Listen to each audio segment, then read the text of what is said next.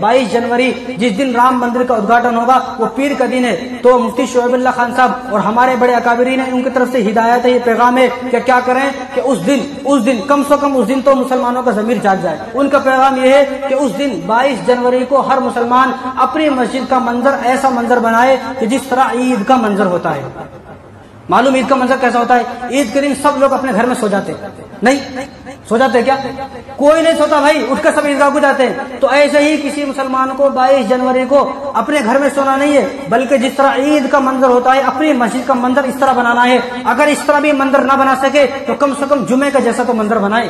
कि 22 तारीख को हमारी कोई भी नमाज़ कदा ना होगी, कोई एक नमाज़ कदा ना होगी। मर्द हजरात मस्जिद को आबाद करें, और औरत है वो खातन अपने घर में, घर को इबादत गाह बनाए, अपने घर में इबादत करें। अल्लाह से दुआ करें, नमाज़ हर मसले का हल है। हमने नमाजों को पढ़ना छोड़ दिया मस्जिदों को वीरान कर दिया तो हमारे हाथों से मस्जिद चली गई।